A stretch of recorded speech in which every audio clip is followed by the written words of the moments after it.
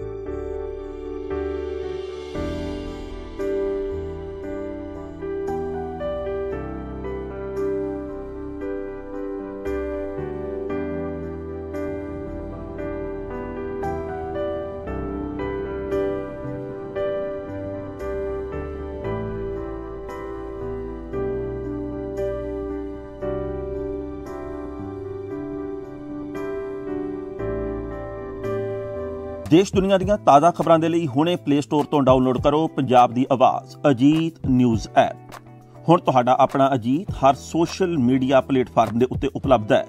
Facebook ਦੇ ਉੱਤੇ ਹੁਣੇ ਲਾਈਕ ਤੇ ਫੋਲੋ ਕਰੋ ਅਜੀਤ ਦਾ ਅਫੀਸ਼ੀਅਲ ਪੇਜ ਡੇਲੀ ਅਜੀਤ ਤੇ ਹਾਂ, ਨਾਲ ਹੀ ਦੋਸਤਾਂ ਨੂੰ ਪੇਜ ਲਾਈਕ ਕਰਨ ਦੇ ਲਈ ਇਨਵਾਈਟ ਕਰਨਾ ਨਾ ਭੁੱਲਣਾ। ਇੰਨਾ ਹੀ ਨਹੀਂ, ਹਿੰਦੀ ਦੇ ਵਿੱਚ ਖਬਰਾਂ ਵਾਸਤੇ ਲਾਈਕ ਤੇ ਫੋਲੋ ਕਰੋ ਸਾਡਾ ਫੇਸਬੁੱਕ ਪੇਜ ਅਜੀਤ ਸਮਾਚਾਰ, ਹਿੰਦੀ। YouTube ਦੇ ਉੱਤੇ ਵੀਡੀਓ ਖਬਰਾਂ ਦੇਖਣ ਦੇ ਲਈ ਹੁਣੇ ਸਬਸਕ੍ਰਾਈਬ ਕਰੋ ਅਜੀਤ ਦਾ official YouTube channel Ajit web TV ਤੁਹਾਡਾ ਆਪਣਾ ਅਜੀਤ ਹੁਣ ਟਵਿੱਟਰ ਤੇ ਇੰਸਟਾਗ੍ਰam ਦੇ ਉੱਤੇ ਵੀ ਉਪਲਬਧ ਹੈ। ਟਵਿੱਟਰ ਦੇ ਉੱਤੇ ਖਬਰਾਂ ਦੇ ਲਈ ਫੋਲੋ ਕਰੋ ਡੇਲੀ ਅਜੀਤ ਤੇ ਇੰਸਟਾਗ੍ਰam ਦੇ ਉੱਤੇ ਖਬਰਾਂ ਦੇ ਨਾਲ ਨਾਲ ਵੀਡੀਓ ਦੇਖਣ ਦੇ ਲਈ ਫੋਲੋ ਕਰੋ ਬਲੂ ਟਿਕ ਵਾਲਾ।